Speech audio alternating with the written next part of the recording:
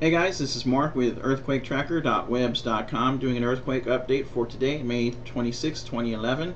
I've titled this video Earthquake Swarm in Puerto Rico because that's actually what's happening. Uh, we have a earthquake swarm that's happening in Puerto Rico just like Japan started before the big 9.0 earthquake.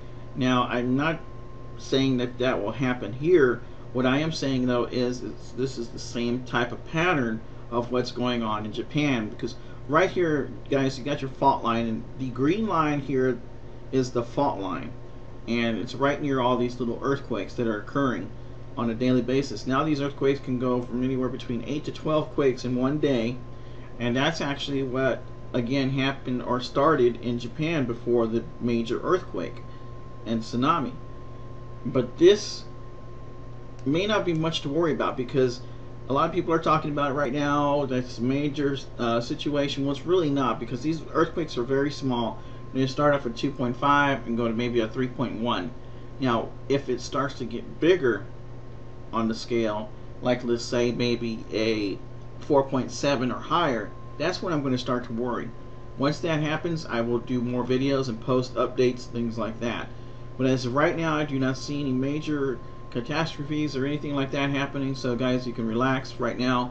I do not see any problems in that area. But again, like I said, if it starts increasing in size with the little quakes to a bigger quakes, that's when I'll continue to make videos and update you on the earthquake swarm in Puerto Rico. So again, not much happening other than these little tiny quakes, underwater quakes. Take a look at the USGS website.